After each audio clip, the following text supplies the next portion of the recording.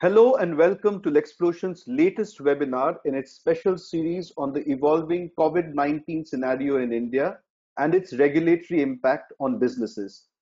But before we continue, here is a quick reminder that those who have been in lockdown since the Janta curfew on March 22nd will be completing four weeks of working from home this week. For others like us who had imposed work from home a few days in advance, we have already completed a month. We would like to take this opportunity to thank all our clients, partners, and others who have cooperated with us during this period, while also keeping us on our toes with regular questions, inputs, and feedback. We assure you of our complete support throughout this period of lockdown and beyond.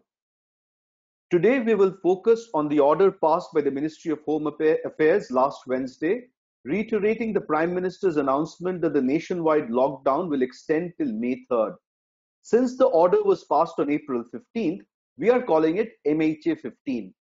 As most of you have already read in our earlier updates on this subject, MHA 15 provides a series of additional exemptions which will allow a number of businesses to start operating from as early as coming Monday that is April 20th, subject to them fulfilling a number of conditions. Before going into the details, a few words of caution. First, MHA 15 clearly states that individual states are to strictly enforce the order, but are allowed to impose stricter measures than what has been laid down. States such as Maharashtra, Tamil Nadu, and Rajasthan have already acted on the basis of MHA 15 and issued amendments to their earlier state orders in the process, they have made some interesting deviations from, the MHA 15 order. We will be spending a few minutes on the Maharashtra order in one of the later sections. Secondly, MHA 15 clarifies that none of the exemptions that have been provided will apply to containment zones within hotspots as demarcated by states, union territories, and district administrations basis guidelines that were issued last month by the Ministry of Health and Family Welfare. Later on Wednesday, that is the same day as the MHA 15 order, the Secretary of, of the Ministry of Health and Family Welfare released a list of list categorizing districts in India into four. The first had two parts to it, hotspot districts with large outbreaks and hotspot districts with clusters, collectively called the red zone and covering 170 districts across the country. Secondly, non-hotspots districts with clusters. There are 207 of them at the moment and finally, non-infected districts or green zones. It has been clarified that a district currently in the red zone will convert to green if there are no new reported cases in 28 days. The purpose of making these points uh, is to explain that you should take into consideration any order that has been issued by your state or district administration to decide whether you and your industry is now permitted to operate wholly or partially from April 28th, 20th. You also need to consider if your business or a part of it is within any area identified as a containment zone. Similarly, while deciding which employees can be considered to come to work, among other considerations that we'll deal with later, you do need to check if the person resides in a containment zone. With this, let us move to the agenda for today and a brief introduction of the speakers. We have broken today's webinar session into four parts. We will start by giving you an overview of the commercial aspects that will continue to remain under lockdown till at least the 3rd of May. We will then move on to a summary of the exemptions that have been provided to some key industries such as healthcare, manufacturing, e-commerce, IT and IT-enabled services, and the financial sector. In the next section, we'll be covering the do's and don'ts that have been laid down in the standard operating procedures or SOPs that are a part of the MHA 15 order. And we'll end today's session by responding to a number of questions that we have received from our clients after the MHA 15 order. We believe these responses will help guide business decisions for all of you attending this meeting. The speakers for today are Agnishwar Banerjee, who heads Lexplosion in the West, Antara Dasgupta, who heads operations in Lexplosion, and Zahid Tarafdar, who heads solutioning in Lexplosion. Agnishwar, Antara, and Zahir are all lawyers and each bring around 15 years of experience to this discussion. And I am Indranil, the CEO of Lexplosion, and I'm also a lawyer. Uh, without any further ado, I'll hand over to Agnishwar to take us through the next section, which is on what will remain locked down even after this order, at least till May 3rd. Over to you, Agnishwar. Thanks, Indranil, and a very good afternoon to all of you who've joined us on this uh, weekend Friday. So let me walk you through the first section, which deals with what remains locked down. Now, while MHA 15 has understandably received a lot of media attention for the new exemptions that it has provided, before uh, walking you through these exemptions, let us take a quick look at what continues to remain locked down, at least till the 3rd of May. So right off the bat, all domestic and international modes of transport for public will remain unavailable. This includes flights, trains, metros, buses, taxis, cab apps, uh, auto and cycle rickshaws also. So all forms of transport grounded till the foreseeable future. Movement of people between states and even districts will continue to be prohibited. However, it has been clarified that this will not be the case for medical reasons. So medical reasons are the only exemption for moving between state borders, uh, as well as for other activities permitted under MHA 15. We interpret this to mean that if, for example, a business operating in Gurgaon, which is in Haryana, is otherwise allowed to operate, its employees will be able to come from Delhi or from Noida, which is in Uttar Pradesh. Uh, and after that, all educational institutions, including coaching classes, will remain closed. As a matter of fact, MHA 15 encourages all educational institutions to pursue online teaching. Uh, all cinema halls, malls, shopping complexes, gymnasiums, uh, entertainment parks, and such like will continue to remain shut. The same is the case with social, political, and religious gatherings. All religious places of worship also remain uh, locked down during this period. While it is difficult to say for sure which of these activities may be allowed post 3rd of May, it is fairly clear that the government will reintroduce some of these in a staggered manner over the next few weeks and months. Apart from this, as mentioned earlier, containment zones within various hotspots will remain out of bounds for all exempted economic activities. The Home Secretary, in a subsequent clarification, has stated that if any area is subsequently identified as a containment zone, then all the exempted economic activities will be suspended immediately. The same document also states that the exemptions that have been provided under MHA 15 uh, will be withdrawn immediately if any of the lockdown procedures are violated. So while containment, uh, non-containment zones may be allowed to operate in the near term, they are under strict watch and any day could revert back to in a lockdown position if there's violation of the uh, provisions of the lockdown or if it has been subsequently declared a containment zone. With this, I'll ask Indranil to carry us through the next section on the fresh exemptions that MHA 15 provides. Thanks, AB.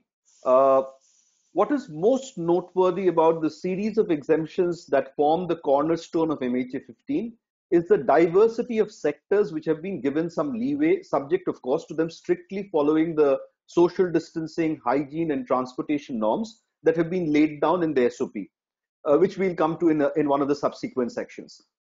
The area which is likely to see the greatest change post the partial easing of the lockdown from April 20th is with regard to the movement of goods. MHA 15 clarifies that all goods traffic will be allowed to ply there is no reference to the goods having to be a part of essential services. The order further clarifies that railways, airports, and seaports will transport goods, parcels, cargo, cargo, relief, and evacuation material.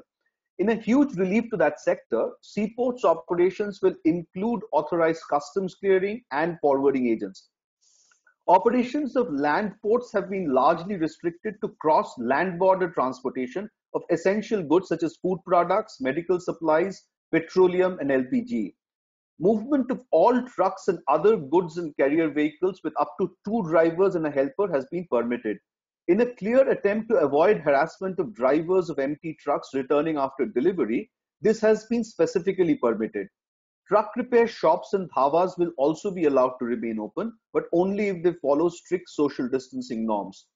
When we read, read this in conjunction with the fact that e-commerce companies, courier services, cold storage and warehousing services, as well as all links to the logistics chain have been allowed to operate fully, it is evident that the government is keen on allowing at least an important cog in the economic wheel to get back on track.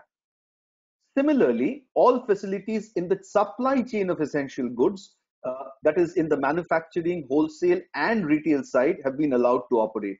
it has been clarified that it does not matter whether the activity supports the supply chain of retail goods through local stores, e-commerce companies, or large brick and mortar units. So essentially, uh, we can we can assume that almost all parts of the supply chain, at least as far as the essential goods are concerned, will now be coming back uh, into almost full action uh, after Monday. Healthcare, for obvious, remain, uh, obvious reasons, remains largely exempted from the lockdown, be it hospitals, laboratories, dispensaries, manufacturers of drugs and pharmaceuticals, and even manufacturers of medical devices. Even telemedicine facilities have also been exempted from the lockdown guidelines.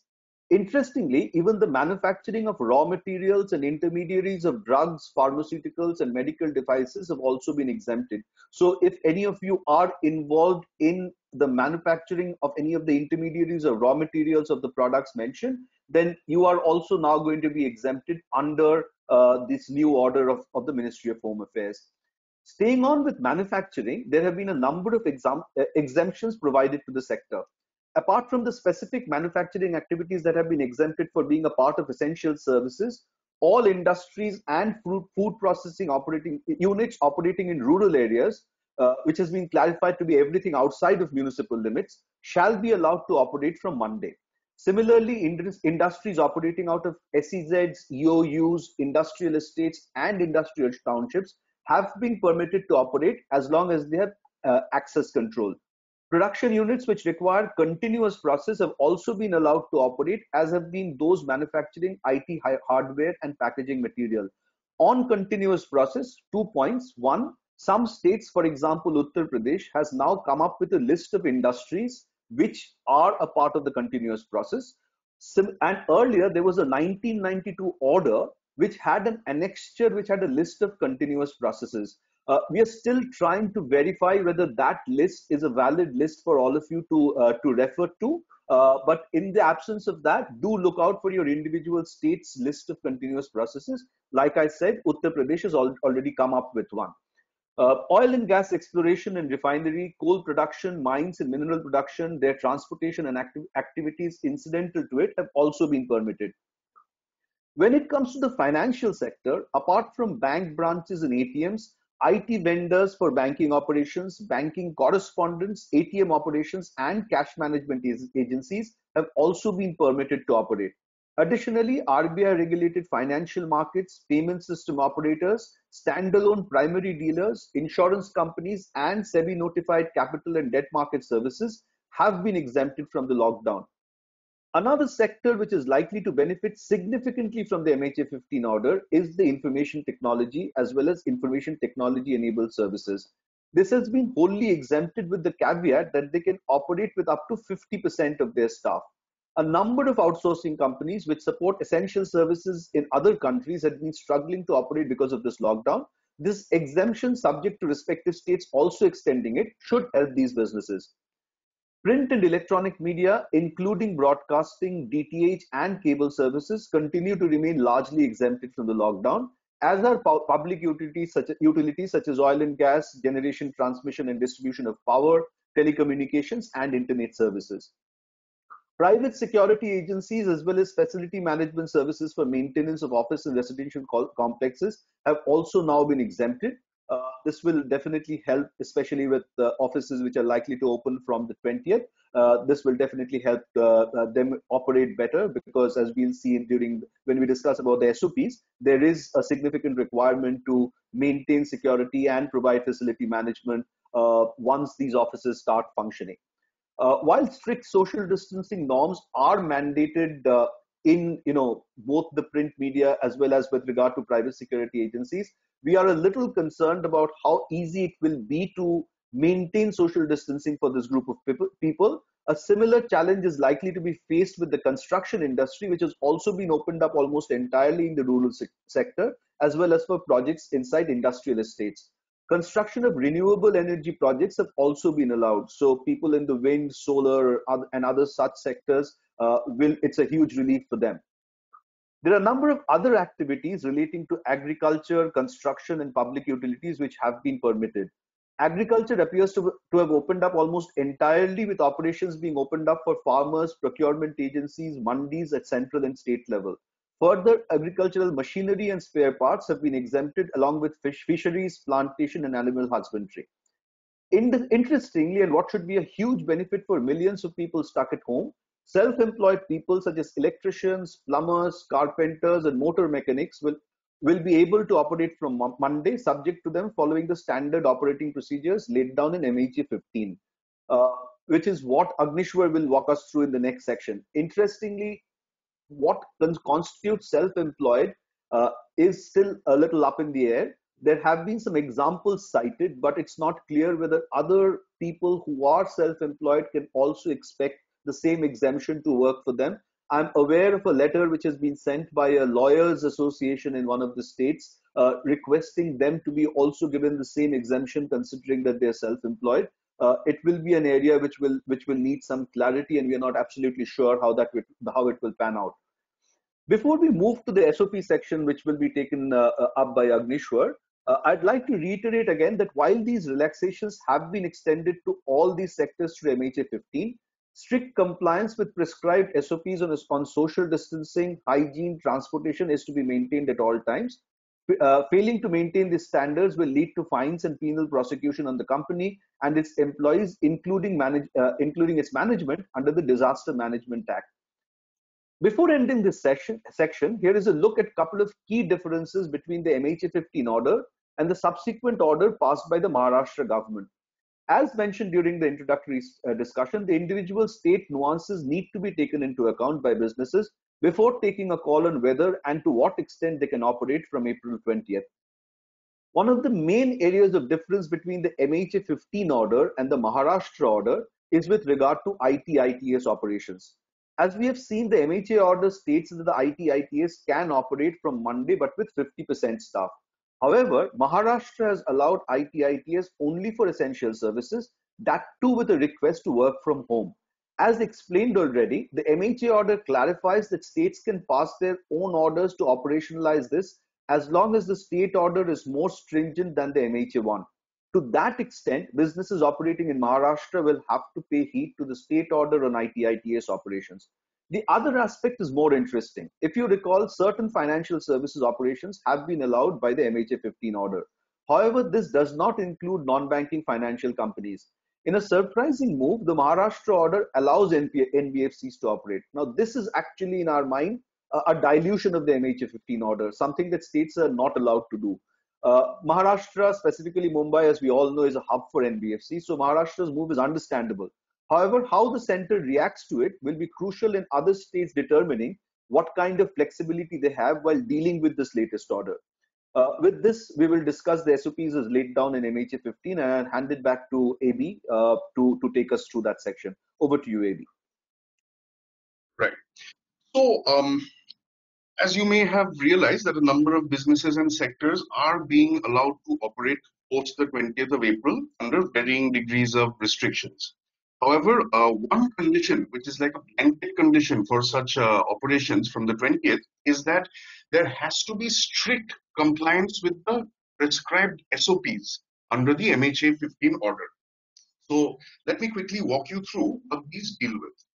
So while the businesses can start from Monday, the standard SOP procedures have been laid down to make it difficult to start so soon. So as a matter of fact, considering that the tough penal provisions under the Disaster Management Act will be imposed on those failing to comply with the order fully, it might be advisable to first ensure compliance with the standards of the SOP and then perhaps to begin your business operations, even if that uh, adds a couple of days to the lockdown. Further, considering that the SOPs are extremely detailed and likely to continue beyond the period of lockdown, we strongly recommend all businesses to be conversant with the various requirements and start making plans to implement these for the longer term as well, not just till May 3rd. To start with, uh, what these SOPs uh, uh, prescribe, MHA 15 makes it mandatory for all people to wear face covers at all times in the workplaces. Secondly, adequate arrangements for temperature screening as well as thermal screening of any person entering and exiting the workplace has to be done. So this applies to both people entering and exiting. Uh, then they go on to suggest that a minimum distance of six feet has to be maintained at all times between any two workers. This includes uh, workers assembling in meeting rooms, training areas, canteens, or common areas. Uh, large meetings of more than 10 people have been strictly prohibited under all circumstances. Then in workplaces, both offices and factories, they will have to now ensure a gap of one hour between shifts. Also, they will have to stagger lunch breaks of staff to ensure social distancing. So gone are the days of everybody eating lunch together. Interestingly, employers have been asked to encourage people above the age of 65, persons with comorbidities and with uh, and parents with children below the age of 5 to work from home. So people above the age of 65 and parents with children below 5 are being encouraged to stay at home. What is not clear is what will be considered adequate encouragement and what the employer's liability will be if some such person does decide to come to work despite being encouraged not to. It's also going to be difficult for large companies to get the details of persons with comorbidities in quick time. And once they do, they will have to deal with a, a huge amount of health data with utmost care. And it should ensure that it does not violate any of the provisions of the uh, Data Protection or Internet, uh, Information Technology Act. Uh, one more issue that could come up is the encouragement of employees to use the recently launched Aarogya Setu app, uh, which is supposed to help in contact tracing. Yet again, we are not sure about what constitutes encouragement and what kind of liability will be cast on an employer whose employee is found to have not downloaded the app. The situation can be further complicated if such employee actually ends up testing positive for COVID-19. When it comes to matter of hygiene, it has been mandated that hand wash or hand sanitizers, preferably of the touch-free variety, are provided at all entry-exit points as well as common areas. Organizations will have to sanitize their workplace between shifts. For factories, it has been additionally mandated that they clean all common surfaces frequently. It also goes on to mandate that factories that organize intensive communication and training on good hygiene practices to all its uh, employees and workers. Employees have also been asked to disinfect building entrances, office gates, lifts, washrooms, walls, and other surfaces. All vehicle and machinery entering the premises will have to be disinfected before they can enter and exit. Lifts and hoists should not have more than two to four people depending on their size. It is not clarified uh, what size is prescribed here. This can be a potential problem for employers working out of shared facilities. As, uh, for example, the lifts, washrooms are shared between multiple offices on the same floor. What if the building owner does not prevent more than four people from entering the elevator? What can they do to ensure this? So these are some questions that need to be answered immediately before people can resume uh, office work. Considering that the lockdown is still ongoing and public transport is off the road, it has been mandated that the employers have to provide for special transport facility for all employees who are going to work.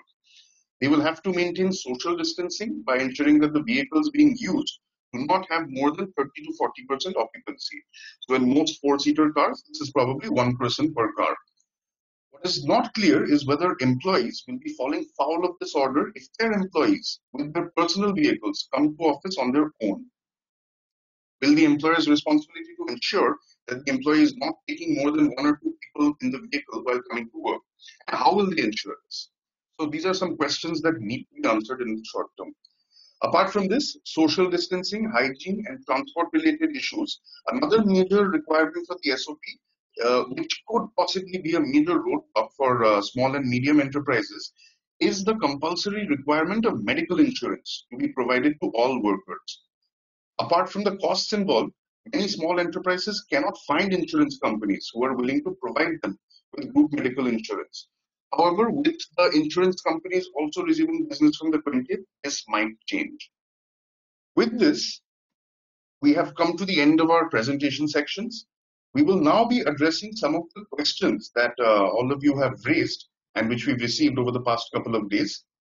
And for this, I call upon my colleagues Zahir and Antara to take us through the next section.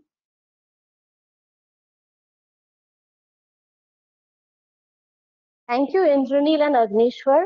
That was indeed an insightful and captivating one, and we are hopeful that each of you listening in today are finding this session as interesting as we are while we were preparing for it.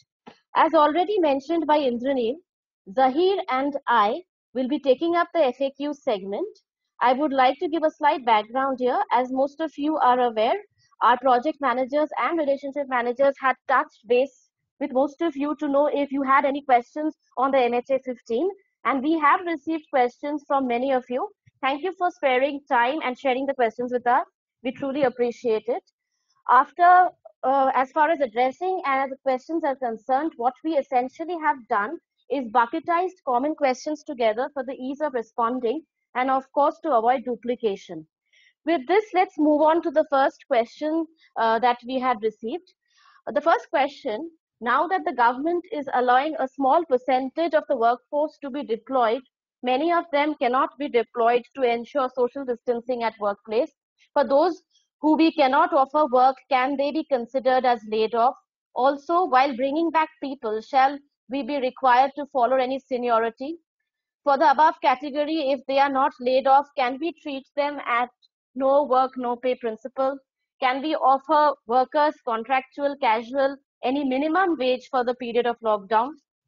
As most of your notifications relating to payment are advisory in nature, what will be the legal position if not complied with? Well, we would like to mention here that the advisory dated 20th March 2020 issued by the Ministry of Labour and Employment urging employers not to terminate employees during this pandemic as it would not only deepen their crisis but also weaken their morale was not issued pursuant to powers given under any enactment. However, the subsequent order dated 29th March 2020 from the Ministry of Home Affairs invoking its powers under the Disaster Management Act is a mandatory order directing all employers, be it industries, shops, or commercial establishments, to make payment of wages to all their workers on the due date without any deductions for the period their establishment is closed owing to lockdown. And that order clearly mentions that any violation of the order would attract stringent penalty under the Disaster Management Act. Subsequent to the 29th March order by the Ministry of Home Affairs, uh, we have noticed many states such as Tamil Nadu, Chandigarh, Andhra Pradesh, and Goa, to name a few, coming out with orders and notifications directing all employers in the industries or in shops and commercial establishments to pay wages to their workers on time without making any deductions for the period their establishments are closed during the lockdown. Uh, as all of you will be knowing, all these orders and notifications have been issued under the Epidemic Diseases Act or the Disaster Management Act, therefore mandatory in nature. In response to your question, under the current circumstances, whether the earlier mandatory orders have not been withdrawn, we do not think that the conditions of social distancing, closure, etc., imposed by the orders resulting in employers not being able to utilize the workers would entitle employers to lay off the employees. To your question on whether you need to start taking senior people in first in line in terms of priority, there is nothing in the order specifying that. Needless to add, all employees, whether being taken into work or not, will have to be paid with no deduction and cannot be terminated. Uh, with regard to offering the contract workers minimum wages, uh, please note that the orders cover contract workers within its purview and these orders require the payments to be made without any deductions. An important point that we would like to emphasize here is that the Disaster Management Act has an overriding effect over any and all acts which are inconsistent with it. With this, I would request Antara, Zahid. uh, Antara, if you if you don't mind, I just wanted to intervene on this uh, because we are talking about uh, uh, aspects of laying off. Uh, there ha- are individual states which have come up with their respective orders as well with regard to uh, termination, with regard to uh, payment of salary. Some of those orders have even subsequently been amended or even withdrawn, as in the case of Karnataka. So my request to the uh, to the audience would be to go back and check for their respective states or reach out to us and we can assist you with this but be sure about the position in your state before you take a final call on any of these matters Uh, thanks, Indranil. Uh, that was helpful for sure. Uh, I would request Zahid to move on to the question two.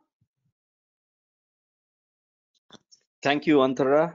Thanks, Indranil and AB, for taking us up to this point. Uh, moving on with the discussion. The second question which we received was what happens to sales teams of businesses which are being allowed to operate? Now, can they start going out to do sales meetings with different prospects? Uh, it's an important question for most organizations which have been permitted to operate during the lockdown period. While the MHA order have exempted a number of business activities wholly or partially and have allowed them to operate subject to various conditions, however, it does not clarify whether such activities connected or ancillary to the approved activities will be permitted as well. Therefore, on plain reading of the MHA order, it is not clear or not uh, whether the sales team of such businesses will be allowed to go out for a meeting. It is one of the clarif- in one of the clarifications we are trying to it is one of the clarifications in fact we are trying to get from the MHA and will update you as soon as we receive uh, it from them. While there isn't full clarity at this moment, some related points are interesting to note and we thought uh, we would discuss those. Now, given that public transport is not available currently for commuting, the question is how does the sales team travel for meetings? Especially since private vehicles are not allowed in case, are only allowed in fact in case of emergencies, including medical or veterinary care and for procuring essential goods. If the organization makes the arrangement for the transportation of the employees, then, then also there is a requirement that the vehicle has to operate only up to 30 or 40% of the, its passenger capacity.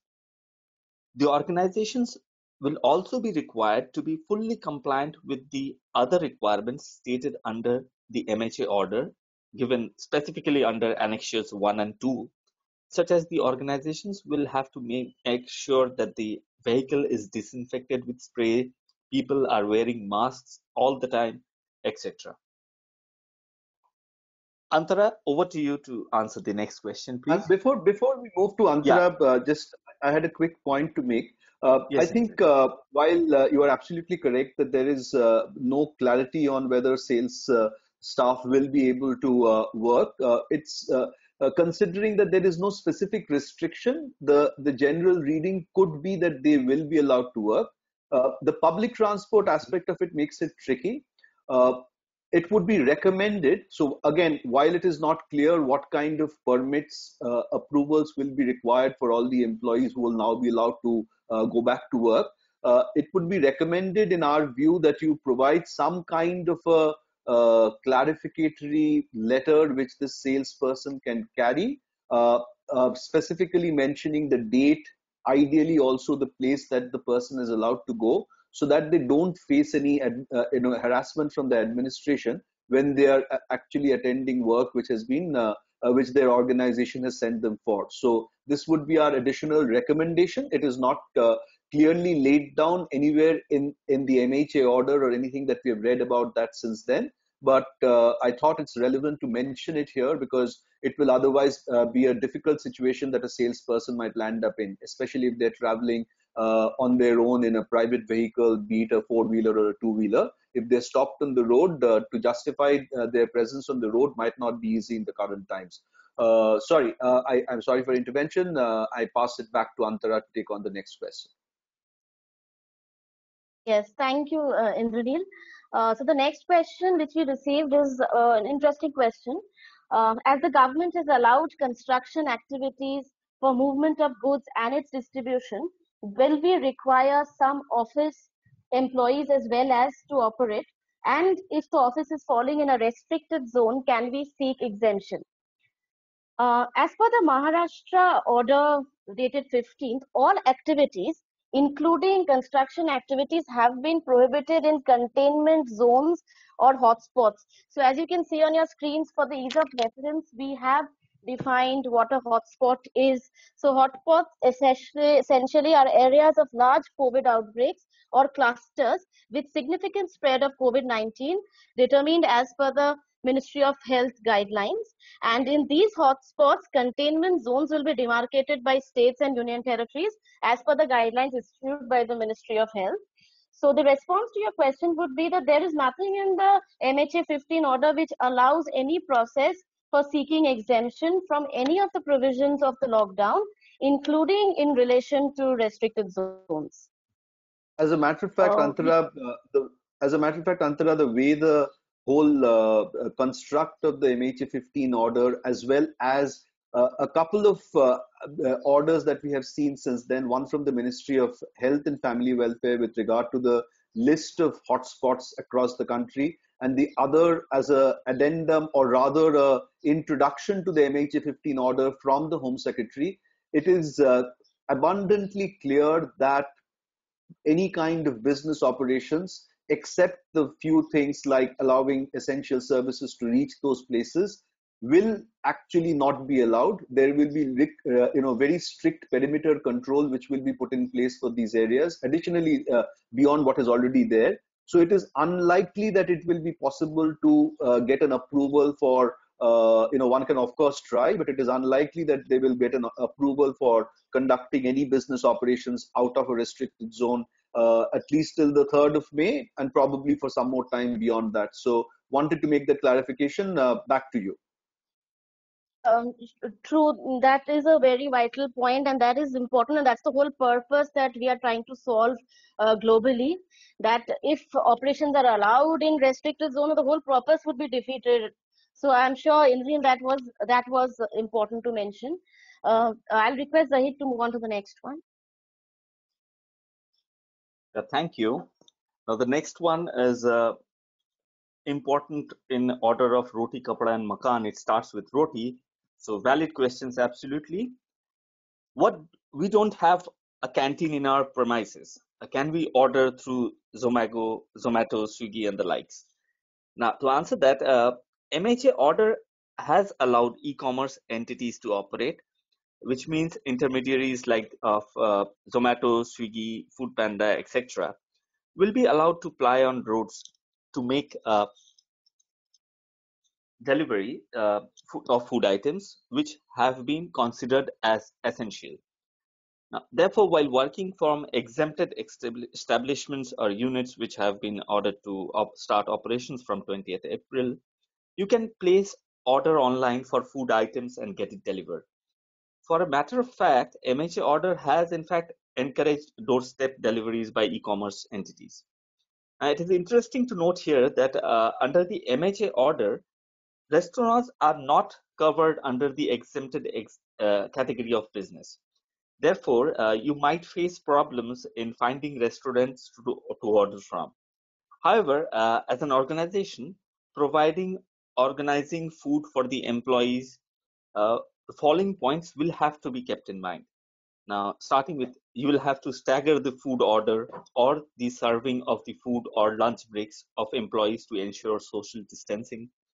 MHA order states that no more than five people shall be allowed to gather and with a minimum of six feet distance between them, which AB talked about earlier. Uh, lastly, but not uh, least important is you will have to ensure hygiene requirements these are the things uh, which are uh, we think is relevant in uh, was in answering this question for you.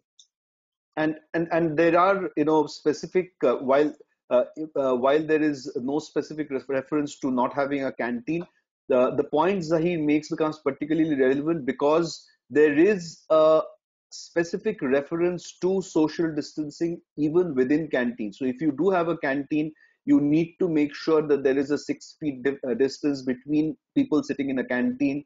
There are specific references, as Zahir pointed out, to staggered lunch breaks. So if you're ordering food and if you have, let's say, a hundred people in a in an office, if you order food for all of them at the same time, considering that not more than five people can gather, considering that there has to be a six foot distance between them, considering that unlike in the ordinary course, they will not be able to have the food sitting in a open area in a group, it is probably you know it probably makes sense to stagger out the orders uh, and make sure that that that they are being delivered at the time when the person will actually be getting the break to have lunch. Uh, uh, since Zahir mentioned about roti, kapra, and makan, uh, one important point relevant particularly for you know uh, people running large operations uh, there is a complete ban on smoking, gutka, and alcohol uh, under this order.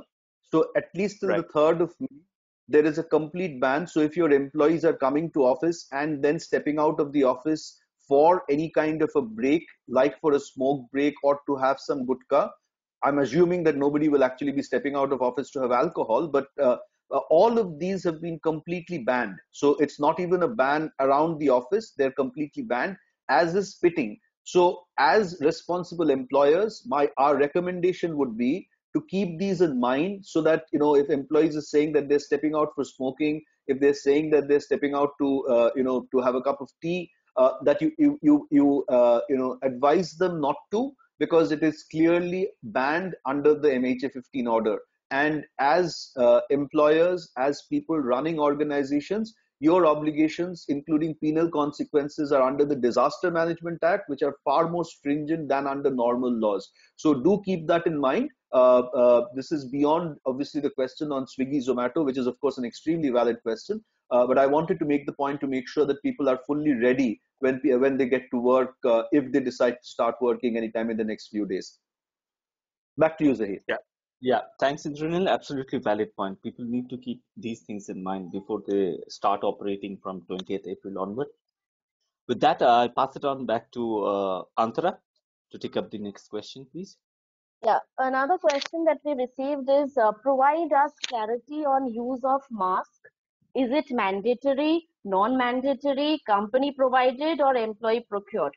So essentially, uh, there are two aspects to this question that whether the requirement is mandatory and whether the company needs to bear the cost for masks or employees have to on their own uh, procure it.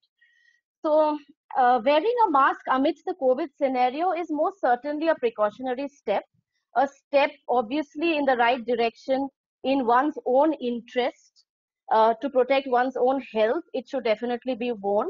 To your question from a legal perspective, as far as the MHA 15 order is concerned, many and many states such as Assam, Delhi, and West Bengal, what we have noticed is that uh, states have made it mandatory in any public place that you need to wear masks. Uh, and you're required to wear the mask mandatorily in offices as well. Offices and public places have been clubbed together in the MHA work uh, office uh, order. Uh, some of us uh, uh, go as go for some of the orders go as far as saying that it should be a three-ply mask. So they specify what kind of a mask it should be. However, none of these orders are clearly specifying whether the employer needs to pay for it or the employee needs to get it on his own accord. So that is something which you would have to take an internal decision. And But Antara, go- Yeah, But Antara, if I may interject Yeah. on this, just wanted to add that, you know, considering that the employee is traveling for the purposes of work and that this requirement is therefore in connection with that, like any other safety equipment which is required for work is provided by the employer, I would think that this would also be something that the employer should pay for, even though I, I, I understand it's not been provided for so clearly. So precisely, Siddharth, and just to add to your point, imagine at this moment when there is no public transport, you actually organize for the employee to come all the way to office in, in some form of transport, keeping all the social distancing requirements, and then you find that the person does not have a mask now, or, or some kind of a facial cover, which is essentially what is required. Uh, it would be rather, uh, you know, uh, strange if you allow that person to then uh, go back all the way because they did not have a mask it would make more strange uh, make more uh, you know sense if you kept some kind of a provision to have uh, you know a, a, facial cover for the people uh, which like antara mentioned is mandatory within workplaces so that as if they come to office without a facial cover they, they do not have to get back home without actually being able to work through the day. So that would be you know logically would make more sense if you kept that provision even if you did not compulsorily provide or if you did not pay for every employee if an employee comes to office without a, a, a mask you should definitely have a provision for them to be able to cover their face for the time that they're working uh, and yeah, thanks and Siddharth for for the Yes, yes, absolutely. Uh, thanks, Siddharth and Indranil. So what we've also noticed in these orders is specifically employers have been asked to ensure that their employees are wearing masks. So as you know, ensuring again has a very wide connotation. And in the interest of the organization as a whole, it will always be good to uh, ensure or provide or make sure that employees are wearing masks as they enter the office premises as well. So definitely a mandatory recommendation from our side. Uh, Zahir, uh, you could move on to question six. Thanks, Antara. Uh, now, moving on with the next question. Uh, the question is about the operating hours of exempted shops or establishment. Now, specifically, the question asked us whether uh, one can operate beyond the erstwhile legal limits. To answer this, now, first we need to focus on essential uh, establishments and factories which deal with essential goods. Now, facilities in the supply of essential goods involving all types of activities like manufacturing, wholesale, retail, either through local stores or e-commerce platforms or large brick and mortar stores. Everything, every activity has been exempted to operate under this MHA order. Also, there has been no restriction at all which has been put in terms of the opening and closing hours of such establishments. But the social distancing norms has to be strictly adhered to. Now, for other exempted facilities uh, not getting covered above, basically not dealing with essential goods, the MHA order is silent on the working hours. Now, in the absence of any specific provision on the opening and closing hours of uh, the establishment or factory, it would be rather safe to assume that the timing of the operations of such exempted facility will be as per the existing laws. Uh, unless, of course, the states, the concerned states, union territory, or the district authorities empowered to do so, issues any orders or guidelines stating, uh, like prescribing a timing of for opening and closing of uh, such establishments or industries. Till that time, and, this uh, is what it is. Yes, Indran. And, and there are, uh, you know, uh, at least for specific segments within the industries which have been already allowed to operate before this MHA 15 order, there are state-specific restrictions on their timing. For example, uh, you know, retail outlets in most states have limited time zones within which they can operate. Same with mandis. Same with you know, uh, you know, flower and sweet shop, sweet markets in places where they've been allowed. So it is uh, it would be advisable to look at the uh, the the the, the state uh, orders for your respective states before taking a final uh, call on what the current operating hours would be. There is nothing specific, as Zahir mentioned, in the MHA 15 order with regard to the uh, uh, you know operating hours of exempted shops and establishments. But and and that would obviously make us believe that the the the general rules that apply to these organizations in the ordinary course will apply uh, but do look at your state orders. The other thing that I would like to mention, and something that we had pointed out in the earlier portion of the presentation, is that in, as, far the, as, as far as the SOPs are concerned, there is a requirement to stagger out the employees and to have at least a one hour break between two shifts. Uh, that time to be used for the purposes of sanitization of the space. So when you when you're looking at working hours, considering that there has to be a, gap of at least one hour between shifts, unlike in the past when one shift could end and another set of people could walk in, do keep that in mind, both for the purposes of this response as well as for planning your overall working hours, including of, of getting employees to work, because it will all become relevant in the context of uh, how this whole operation will have to happen at least till the 3rd of May for those of you are planning to start between now and then. Over to you, Zahir. Yeah, yeah. Thanks, Indranil. Uh, Antara, you can now take on the next question, please. Yeah. Uh, the next question that we received is uh, needed clarifications on the post uh, 20th April relaxation, which it seems includes allowing IT ITES staff to operate on rotational basis can you confirm if this is only applicable to the IT ITES organizations or does this have broader allowances to the IT staff in other sectors too? Uh, responding to your question, we would like to uh, mention that as per the MHA 15 order, commercial and private establishments in the IT and IT enabled services sector have been permitted to operate with up to 50% strength subject to the social distancing norms since this question was asked by our clients operating in Mumbai, please note that the Maharashtra has a more restrictive requirement here. That is that the IT, ITS establishments only in the essential services have been permitted to operate in the state. Uh, they had an opportunity to bring the requirement in line with the MHA central order, but they have not done so. Uh, the same for IT, ITS, while they have done it for many other industries. So essentially, there are no specific exclusions we have observed to IT staff in any other sectors. For IT staff in any other sectors to be excluded, uh, it would necessarily be required to be specifically excluded in the order as well. Just like while allowing the banks and the branches and the ATMs to function, the order specifically allows IT vendors for banking operations to operate. So to us, by and large, IT uh, staff in other sectors would be covered. Uh, if Indranil and Siddharth would like to give uh, more insight into that, I would appreciate that as well.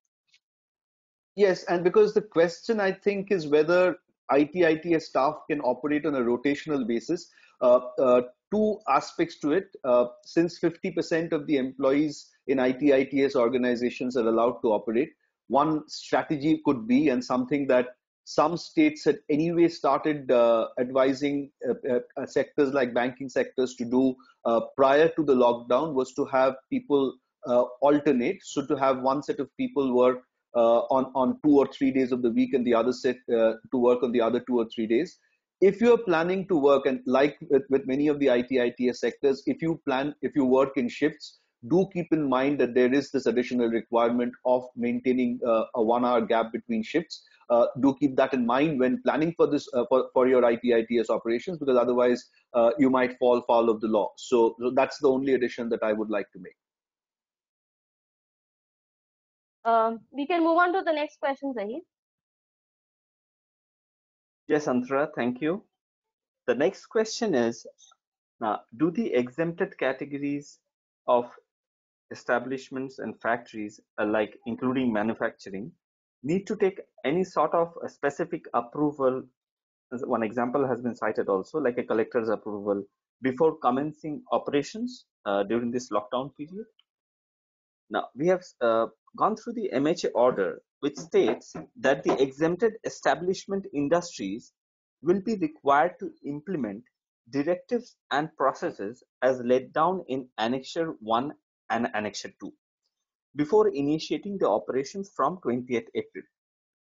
MHA order further provides that the states and union territories and the district authorities before operating the relaxations will ensure that all preparatory arrangements ensuring social distancing in the workplaces for the exempted activities are in place.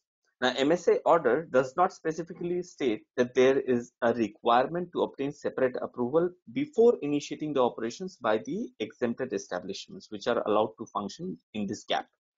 Now, uh, uh, therefore, it, uh, we can say that unless the state or union territories district authorizes issue or issue an order specifically requiring organizations to seek, seek prior permission, uh, the MHA, MSA or MHA order does not do so.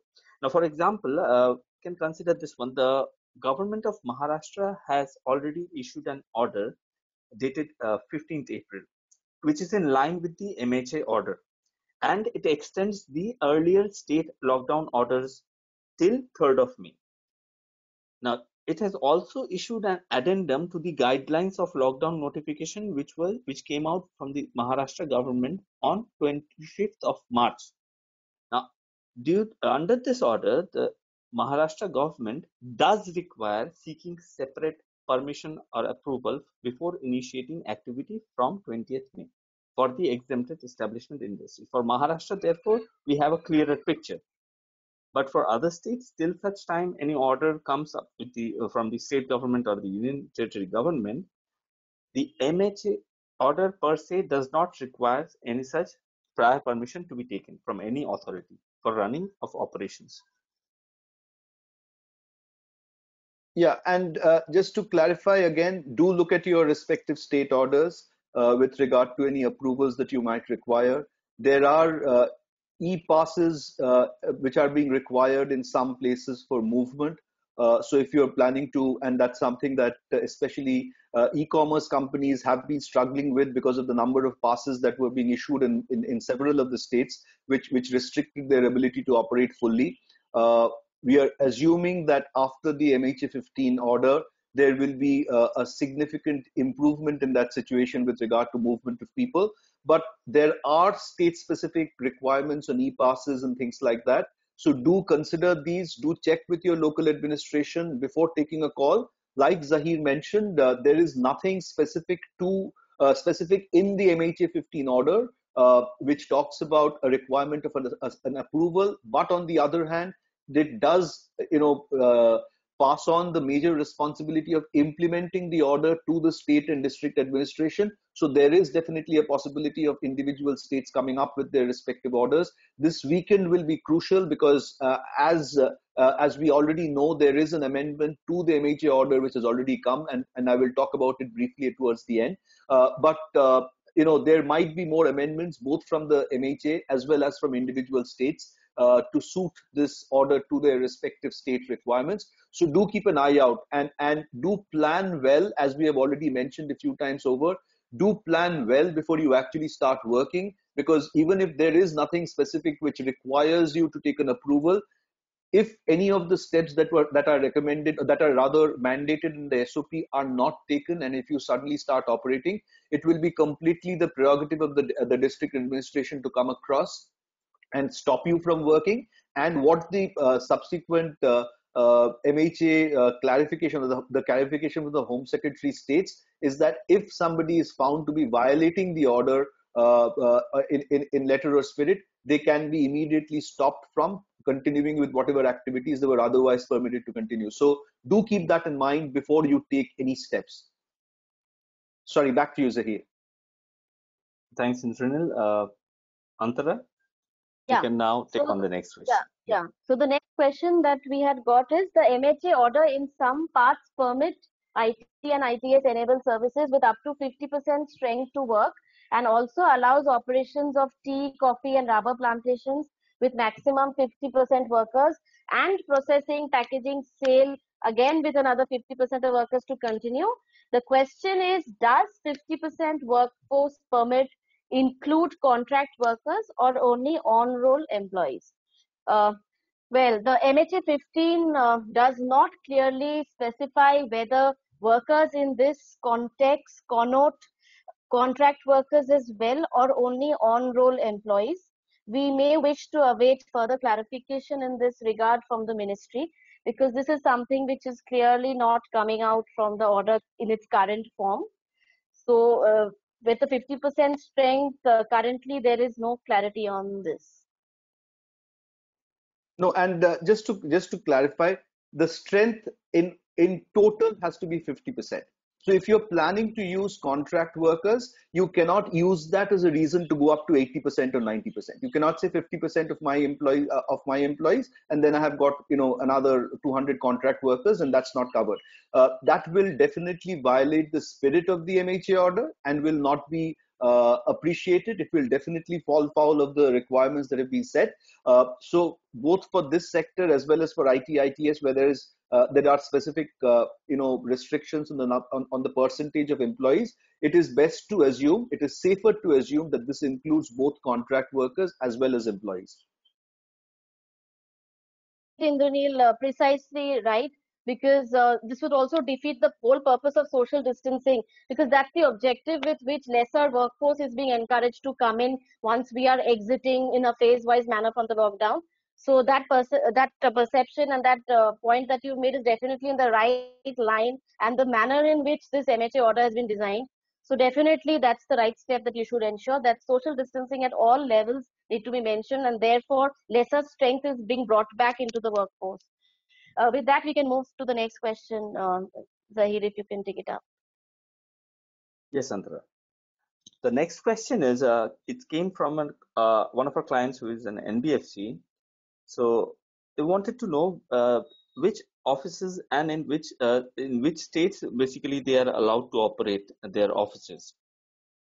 Uh, to answer this, uh, yes, Zahir, can I uh, can I intervene at this stage right now? Yeah, because please.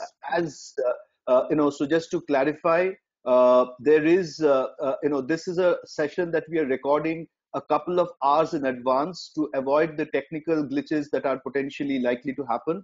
And as we were uh, recording this session, there is this new uh, amendment which has happened to the Ministry of Home Affairs order, which uh, in which says that in the finance sector, non-banking financial institutions, including uh, housing finance companies and microfinance institutions with bare minimum staff and cooperative credit societies uh, will be added to the list and they will be exempted. Oh. Uh, so the response needs to be modified now to, to clarify that that and and we will uh, you know get into the uh, into the details of that amendment because there are a few other things which have been included. For example collection harvesting and processing of minor forest products and non-timber forest uh, produce by scheduled tribes and other forest dwellers has been added. Bamboo coconut uh, arecanut cocoa spices plantation uh, which were earlier only restricted to rubber tea and coffee have also been added. Uh, construction activities in rural areas include water supply and sanitation uh, laying erection of power transmission lines and telecom optical fibers. This has been clarified. So there are a series of clarifications which have come through the, the amendment which has recently uh, come into the public domain. Uh, I wanted to make the point because uh, you know it is important that we we establish that we are aware of this and, and, and we are looking at it and we will obviously uh, do a deeper research in this onto the specific amendment and come back with uh, more detailed feedback so people who are uh, ComRisk users should uh, should keep an eye out for updates that we send you. Uh, for all our other, uh, you know, COVID-19 package users, you will see a summary of this in the COVID-19 package on our website as well as also the mobile application in, in, a short while after this webinar is over. So I just wanted to make that point, Zahir. Uh, the, over to you. I think that broadly yeah, answers. Yeah, yeah. Thanks. Thanks. It actually yeah, so answers, that broadly answers this question with regard to NBFCs with many states. Uh, so the clarification issued, so the uh, MH, the Maharashtra order, which we thought had actually diluted the MHA order with regard to NBFCs, has now become the norm. Yes. Uh, however, there are some restrictions in terms of the number of people uh, who can operate, uh, which you will, uh, you know, if you look at the amendment or if you wait for our update, you will find out. Uh, uh, but but otherwise, yes, NBFCs, uh, including housing finance corporations, will be able to operate from Monday. Thank you, thank you very much, Indranil. Uh, Antara. Yeah. so the next question that yeah, so uh, we can uh, see the slide. The next question is that for transport of employees, does it have to be a company-owned car, or can we use rental cars or employees' cars? Do I need to get a police curfew pass for this? What are guidelines towards employee commuting to office, mainly those commuting by public transportation? Okay, so a couple of questions which we, as you can see, we've tried to uh, merge them together because they all are around a common point. Uh, so we would like to mention that uh, as covered by us earlier in this session as well, under the MHA 15 order, all buses meant for public transport, metro rail services and taxis including auto rickshaw, cycle rickshaw, and cab aggregators, uh, which is mostly used by the workforce, have been prohibited from operating in the prevailing period of lockdown up to 3rd May 2020. So on the one side, there's a whole bunch of public transport which is being prohibited. And on the other side, certain industries subject to not being in containment zones or hotspots are being allowed to get back to work. So let's see how we can address this query. So as an employer of an establishment which is allowed to continue operations during the period of lockdown, since public transport will still remain prohibited, it is implied that you would be required to provide a company uh, a company transportation facility for your workers. Further, while arranging the transportation, uh, you must bear in mind that the vehicle will be allowed to work only with 30 or 40 percent of the passenger capacity given the social distancing norms that you will be obliged to follow. And when these vehicles enter your premises, they have to be mandatorily disinfected by spray. There has to be cleansed. There has to be a huge amount of hygiene being maintained, and your employees must be wearing masks. So these are the typical guidelines which we have noticed in the SOP. Uh, for the movement of your vehicle carrying your employees in the state, you may have to obtain passes from the local authority, from the local police, which the state governments will inform from time to time, and as they have in the previous period of lockdown as well. state governments have come up with processes to issue the passes. For instance, the government of Haryana, in a notification dated 27th March, had launched a system of granting movement passes electronically for both the government employees as well as the public persons who have emergency situations, like say a situation of medical emergency, or you have a fatality, or you need to go to a crematorium ground. So for these situations, the public people were allowed to use their private vehicles and where they needed to travel despite the strict lockdown. So they were compelled in those scenarios they need to. But to join back to work, the company provided transportation would be required. At least till further clarity is received that if private uh, cars can operate for the purpose of joining back work. We've also noticed an interesting um, update from Chhattisgarh government where they had launched uh, Chhattisgarh COVID-19 e-pass, which is an Android uh, app to facilitate issuance of vehicle passes for inter and intra-district movement of vehicles during the lockdown in Chhattisgarh state. Uh, please note that there cannot be any inward and outward movement of population of the hotspots and containment zones, which we want to re-emphasize constantly, that that is the condition basis which this exemption needs to be implemented. That is the first point that you need to satisfy is that is your organization is not in a hotspot or the containment zone. That's number one.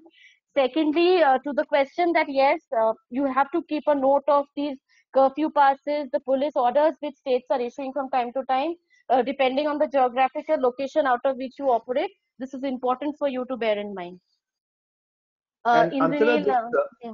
yeah, just a quick point that you know there is a specific uh, uh, restriction or a, uh, the the continuation of the lockdown with regard to all forms of public transport, which includes rental vehicles and app cabs. So while uh, you know there is nothing which specifically restricts the use of uh, you know rental vehicles it might be difficult to get them because they have not been uh, uh, exempted uh, unlike some of these other industries as a part of the so so the rental car uh, companies especially the structured uh, well organized larger rental car companies might be you know worried about sh- you know sending their cars because there is no specific exemption that that industry has been provided. As a matter of fact uh, it has been quite clearly stated that, uh, especially for uh, for taxis and for app cabs, they will not be able to operate for the moment. So, so that might come in the way of getting rental cars during this period. Yes, absolutely. Uh, that that is absolutely right. Um, so I think we need to take note of these things that what remains prohibited so in, on one side, as I earlier mentioned, that we are allowing the exemptions. At the other side, there are going to be difficulties for companies to organize and arrange for transportation facilities. So these logistics need to also be in place in order to action and getting back to work for the permitted industries. Uh, with this, uh, for the rest of the questions, we will uh, move it to Zahir. Thanks, Antara. Uh, the next question which we are going to address here is, uh, this client of ours write to us saying that we used to manufacture non-essential items. Now we want to manufacture essential items. What are the conditions for us to continue operations? Now, uh, there is no direct provision which allows or disallows an organization from starting to manufacture essential goods under the MHA order now. Then if somebody wants to switch over to manufacturing essential goods, there is no such clarity which is either prohibiting or allowing or disallowing uh, such uh, switchover. Now, to manufacture essential goods, in addition to comply, if you're doing it within this period, within this uh, gap, in addition to complying with the hygiene, social distancing, and requirements listed under Annexures 1 and 2 of the MHA order, you may have to assess whether your existing permissions under various other laws uh, are in place. For example, under Factories Act, uh, Environment Protection Act, your Memorandum of Association, etc. So all laws, by and large, they require uh, a notification to be sent to the regulating authority in case you, especially with uh, operations laws like Factories Act, Boilers Act, and environmental laws, in case there is a change of uh, pattern of operations or the things you manufacture, there is a notification which is required to uh, be submitted before such authorities who have granted you the permissions but it is absolutely possible to do it because as you would know in uh, several organizations including some of our clients have started, uh, you know, manufacture, for example, of ventilators and things like that during this period, and they have uh, uh, sought and received necessary approval so that they can do that business, uh, keeping the the nature of what is required at this moment. Yeah. Yes, Indranil. Moving you, on. Uh, yeah, I'll move on with the next question. Now, again, a very uh, absolutely justified question, especially in the light of uh, the guidelines which have been laid down in annexure, which makes uh, mandatory insurance of all workers. Uh, now, the question is, what is the amount of medical insurance I have to offer uh, my employees or workers? If I already have them insured, do I need to have any additional policy? Now, the MHA order does not specifically mention any amount up to which or for which the insurance cover has to be obtained. Now, we anticipate some standard practices, uh, including the amounts as well, uh, which will evolve in the coming days. Post consultations between uh, organizations and insurance companies and IRDA and government, maybe. At this stage, you should uh, take the best possible health insurance policy, keeping in mind the intent of the requirement, is what we can say. Now, standard practice in your industry, if your industry are like example, uh, someone working in the healthcare who is more likely to come in contact with the COVID-19 virus or patients uh, infected with it should have more comprehensive policy as against someone working in IT, ITES uh, research firm operating uh, will not require interaction with other persons. Now, if you have a health policy, the second part of the question, uh, now if you have a, already have a health policy for the employees, which covers for hospital, hospitalization, treatment, etc. Now, for COVID-19 uh, related illness uh, uh, also, then there is no need to get additional policies what we can say as of now. And there is nothing which which is clarified, so it doesn't even need to technically be a group insurance. Uh, as yeah. long as every employee of the company has a provide a medical insurance and the you know considering that it says that the employer has to provide the medical insurance as long as the employer is paying for the the premium for that health insurance that should be enough from the point of view of this particular order. Uh, needless to say uh, with insurance companies also being allowed to operate from the 20th uh, if you already do not have a health insurance for your employees it might take you a few days to be able to actually obtain it our recommendation would be to not start your operations till it has been obtained for the same reasons that we've already mentioned about right. uh, being fully prepared before before operations actually begin. Right, right. Okay, then uh, moving on uh, with the next question. Now, this is with regard to uh, the payment of overtime to employees or contract laborers. Now, how what are the guidelines for making payment to employees or contract laborers for making them work overtime during this period?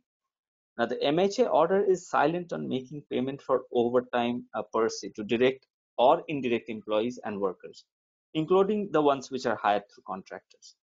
Now, the process and law, we would say, like to say, remains the same the liability is ultimately on the uh, principal employer to make a necessary payment when it comes to uh, contract labor. Of course, for direct employees, it continues to be the employer. Uh, in the absence of any guidance under the MHA order, uh, it is uh, we can rightfully say that the existing laws will govern the aspect of payment with regard to overtime work as well and, and regular payments. Now, we, we recognize that employees or contractors who were uh, being paid in cash till now and who have not been able to migrate, the employers who have not been able to migrate to an online payment mechanism, uh, will be this will be a big bigger practical problem to resolve. Uh, therefore, our recommendation is like uh, for employers who have uh, not been paying, uh, still continuing to pay in cash till now, they should make all uh, their all efforts to enable the employees to move to digital banking, etc to accept the payments which you are going to make to them. That is something which we highly recommend for you. Yes, and uh, you know the, the the, the the as far as the overtime is concerned, uh, it it becomes a little tricky, especially for uh, people working from home, to keep track of exactly how much time they've spent on work becomes difficult, uh, and therefore it might be a little more uh, you know uh, difficult to determine what will be the right overtime to be paid. Uh, as a matter of fact, even marking attendance and things like that has become difficult for many of these uh, organizations where a large majority of the yeah. people are working from home. Uh, so, so, so these, some of these questions, I'm sure, will be relooked uh, by the various labor laws once this current state of, uh, you know, the pandemic state moves away and we move into the post COVID-19 scenario. I'm sure the, the, the, the labor codes which are currently uh, being finalized will consider some of these aspects when they when they review the, uh, them from for, before they're finally uh, uh, passed by the parliament. Yeah. Back to you, Zahir. Yeah, thanks, Indranil. Uh, so moving on to the probably the last question and this of this session. So uh, again, last question, uh, but, but because only because we have combined many questions together, and I'm sure our clients listening to this webinar will be able, able to relate to them. Uh, the last one is uh, it came from a client of ours, uh, which is into manufacturing or supply chain activity of essential goods. So basically, uh, para 13.1 of the MHA order, it exempts all types of activities which are related to uh, essential goods. Whereas if you go on in the MHA order, para 15.4, it exempts food processing industry in rural areas only. That means in municipalities or municipal corporation areas, food processing industries cannot be run. So this client uh, under uh, going through these two paras asked us a question. Now uh, they are a food processing unit engaged in manufacture of essential food products uh, with manufacturing facilities not in rural but municipal area. Their question is simple: Will they be allowed or disallowed under the provisions of para 15.4? Now, clause 13.1 of MHA uh, order allows exemption to all types of activities related to food processing of essential goods. So if you are doing any sort of food processing which is under the essential goods category, now irrespective of whether you are manufacturing uh, from which location becomes irrelevant. Clause 15.4 is basically applicable to food processing industries which are not covered as essential goods. Now for them, you have to restrict your operations in rural areas only and not carry on your operations in municipal corporation or municipalities. So that is the gist of it. So if we both are uh, both the clauses 13.1 and 15.4 are read in conjunction, that's what comes out of it. So uh, that food processing industry for essential goods can be done from pretty much anywhere, subject to, of course, uh, strict compliance with all the conditions that we talked about and which are there in uh, laid down in the MHA order.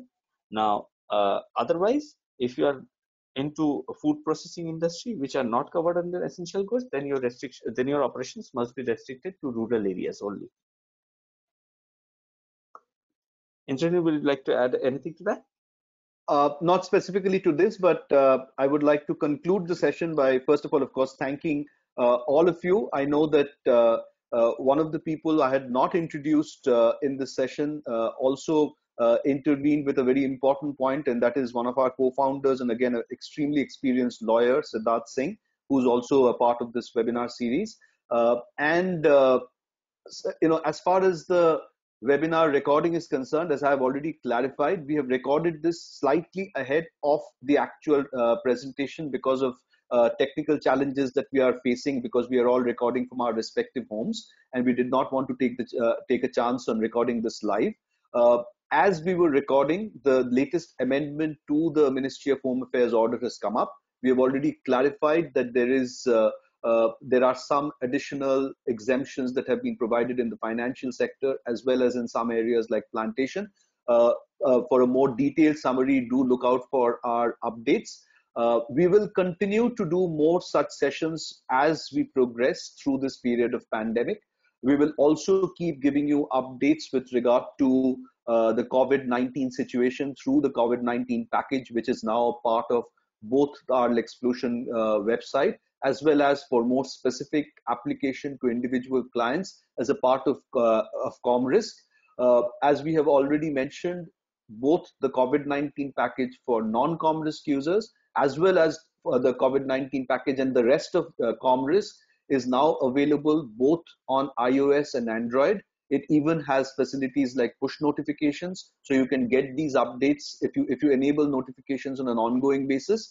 Uh, we understand the kind of stress that many of you are feeling with regard to uh, the evolving situation and and how it Im- impacts your your businesses and you individually. Uh, we we can give you a reasonable assurance that if you keep track of the COVID-19 package, you will have a, a, a fair idea of what's happening uh, currently and will give you a, a, some kind of an heads up on what it will be like over the next few uh, you know weeks and probably months.